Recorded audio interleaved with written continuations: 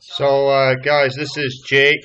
Uh, Jake's been doing some some training for the Olympics, getting ready for the uh, the high jump event, and uh, thought we'd just take a quick look at his his technique here, which is pretty impressive. If you take a look at the initial move here, really good extension on the upward movement, and uh, great hand position here. Just as he as he positions his hand and also the use of his left foot on the door to help him create the opening.